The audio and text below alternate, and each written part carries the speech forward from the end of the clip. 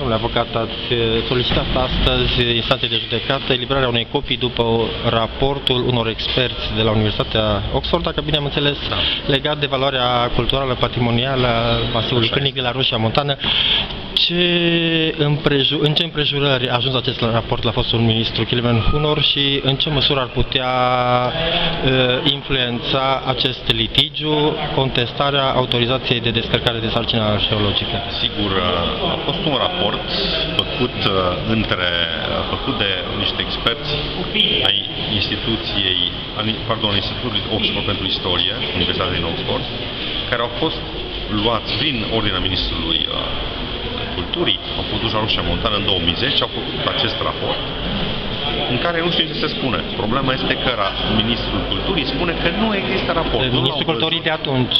Ministrul Culturii de acum spune că Ministerul Culturii spune că nu știe existența raportului, habar nu are de că ar fi fost produs.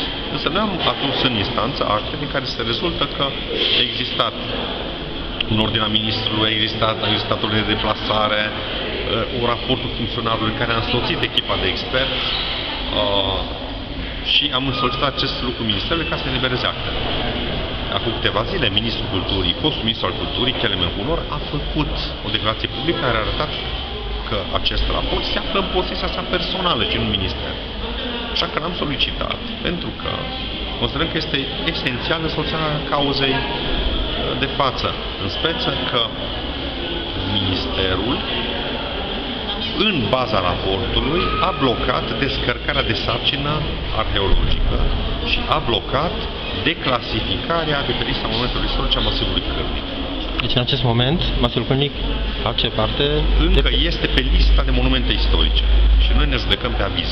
Considerăm noi că acordul de descărcare de sarcină va fi anulat. Ce implicații ar, ar avea? Stopează proiectul.